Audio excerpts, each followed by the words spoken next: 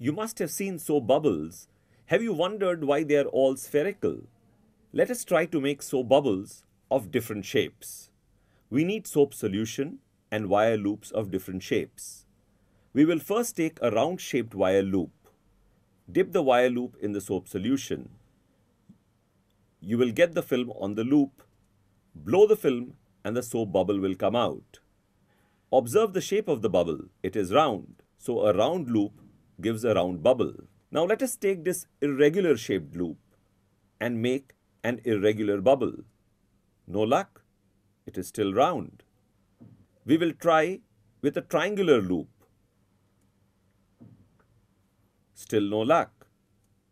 So we just saw that irrespective of the shape of loop we used, the bubble always came out round. Why does this happen? The surface tension of the bubble pulls at the surface of the bubble trying to reduce the surface area.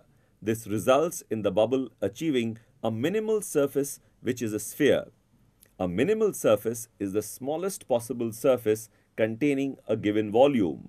So soap bubbles will always be spherical. The size of the bubble depends on the kind of soap used. Can you now explain why water droplets are also spherical?